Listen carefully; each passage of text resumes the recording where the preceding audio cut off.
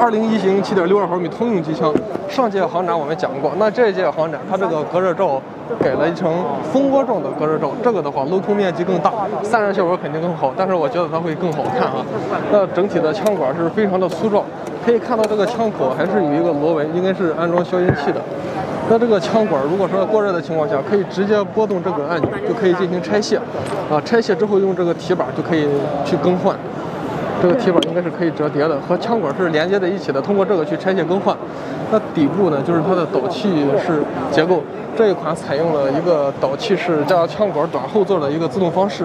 那整体的自动结构全部排列在底部，这样的话把上部分的空间留给这个供弹机构，所以说这也是可以方便排障。大部分机枪都是这样的一个布局啊。然后我们再看一下这个。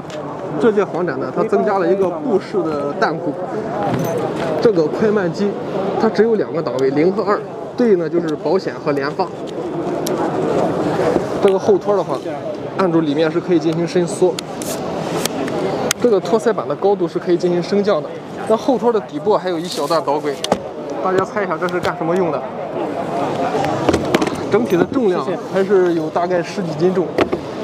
然后我们再看一下它的右侧。再看一下右侧，这是一个折叠的拉栓，那这个部位呢是它的抛壳窗，应该是拉动就可以打开抛壳窗。啊，可以看是个折叠拉栓，我们就不拉到底了。呃，整体的这个外观造型啊，非常的美系化啊，完全不是说以前的那种风格。这个侧面的加强肩也非常彰显力量，这么颜值高的机枪，啊，战斗力一定很强。